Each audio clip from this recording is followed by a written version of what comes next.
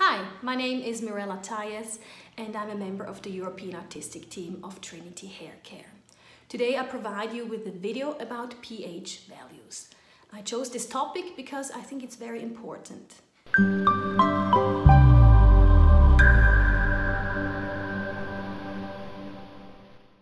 The pH value scale ranges from 0 to 14 and 7 is neutral healthy hair, when we talk about healthy hair, the pH levels are approximately 4.5 to 5.5.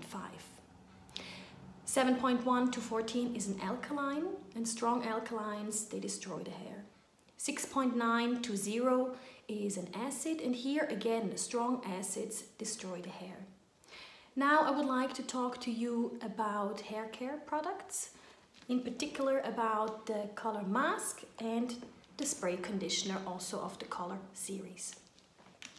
After we do a hair color in the salon, of course we have to rinse the color and we wash the hair and then we have to choose a product to take care of the structure of the hair. Now I know that time is many, many times an issue. Maybe the color technique took very long or your next client came in early. And of course, people want to speed up things, but now I would like to explain to you why it is so important to choose the mask. I know it's a little bit more time consuming because we have an acting time of 10 minutes and of course you have to rinse it out. But the pH levels of the mask is 3.5 and the pH levels of the spray conditioner is 5.5. Now, the pH scale is a logarithmic scale, which means, let's say we go from 7, which is neutral, that I said already. If you go from 7 to 6, it's not one time more acidic, it is actually 10 times more acidic.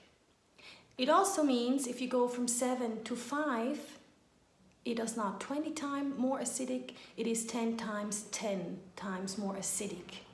So, again, let's go back to these two products pH levels 3.5, pH levels 5.5.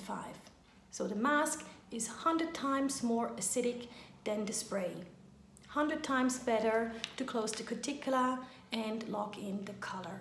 It closes the cuticula, which makes the hair more shiny, and of course the color lasting longer.